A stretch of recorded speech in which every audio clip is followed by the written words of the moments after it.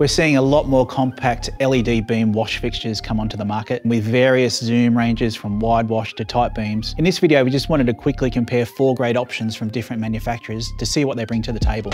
A popular LED beam wash is the Claypaky Mini B, which you'll find on tours and shows across the country. It uses seven ultra bright LEDs with the center pixel and outer ring being controllable. It has a 4 to 55 degree zoom range, setting the standard for these compact zoom wash fixtures. We know this fixture doesn't sit at every church's price price point, so let's examine some other lower cost alternatives. First up, we've got the ShowPro R3 wash. With this light, you'll still get an impressive and compact wash, but without the individual pixel control, you do lose the ability to have those eye candy effects. The Oxygen from Acme is another great alternative, but in a pretty different configuration. It's a point of difference and really comes down to a taste and preference. It's also got a slightly reduced zoom range of 60 to 40 degrees. You don't quite get the tight beam found on the other fixtures. Last up, but by no means least is the Tourpro ZB7. We like this one a lot, with almost identical specs to the Mini B, but with the added functionality of full individual pixel control. This represents a great combination of functionality and affordability at a fraction of the cost. These fixtures are all up on our web store, so go and check them out there